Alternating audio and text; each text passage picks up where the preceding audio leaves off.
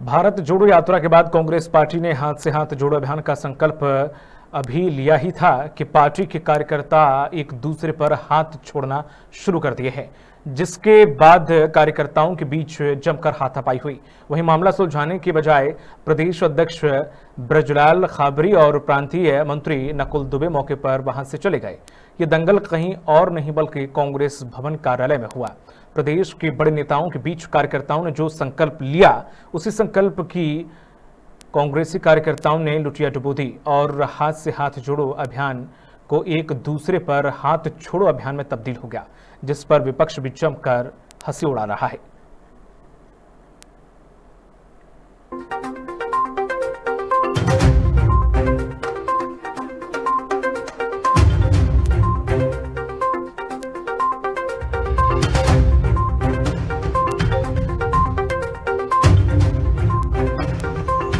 उनको दिखाई दे रहा हो, लेकिन जब तक ये चीज़ें जनता को दिखाई नहीं देंगी, तब तक कैसे कह सकते हैं कि यहाँ बढ़ रहा है।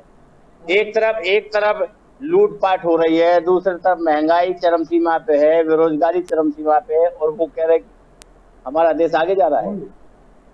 कौन लूट रहा भारतीय जनता पार्टी। भारतीय जनता पार्टी के लोग, महँगाई किसने आपको दी है? महँगाई के नाम पर हमारे देश के प्रधानमंत्री 2014 में चिल्ला चिल्ला के कह रहे थे, बहनों, भाइयों क्या आपको पैंतालीस रुपए लीटर पेट्रोल डीजल चाहिए?